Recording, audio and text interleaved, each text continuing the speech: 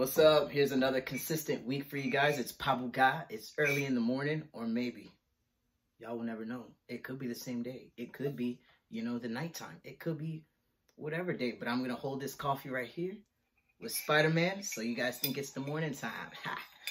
um.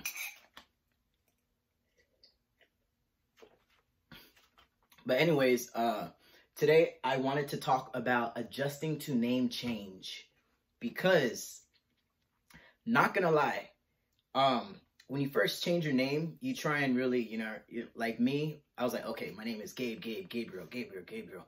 But somebody would be like, because my uh, name before was Natalie, so they'll be like, oh, Natalie, but they wouldn't even be talking to me, and I'll be like, you know, you're just like, and it's it's it's weird, but I'm like, oh, that's not me. I'm Gabe now.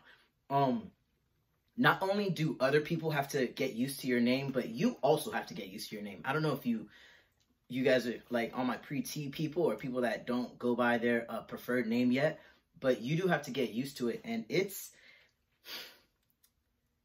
um it's it's a little funny because I believe I've had my name changed for like five or six years now, and still when people say Natalie, I'm like, I'll like look like, uh, you know.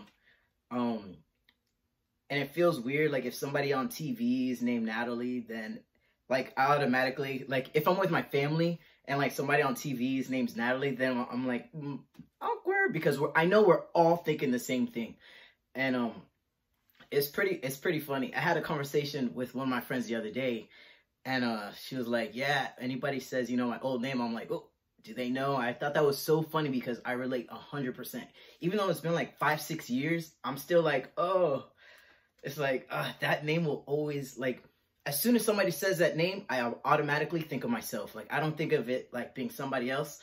And I know that people, like, 100%, I know that if somebody else's name is Natalie and people know, then they're like, you know, mm, used to be Natalie. You know, like, I know it, but it's just because that's who I who who I was for like 20 like 20 22 years, 23 years. So like, you know, it's bound to happen, but I think it's so funny. Uh even sometimes they'll be like, "Oh, what's your name?" Not now though.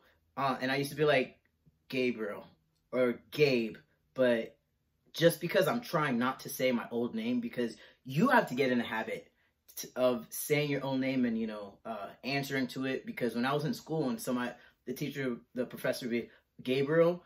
I'll be like, here, but then I was like, uh, should I? Or, you know, it's, it's crazy.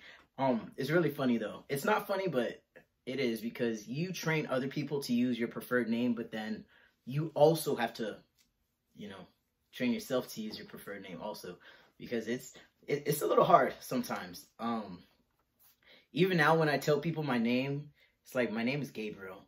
And I feel like I say it weird, like, sometimes people are like, hmm, is it your name? Like, why are you why are you so slow to say it? Uh, not really like that, but I feel like I kind of overthink it to where it's where it's like I'm I don't know.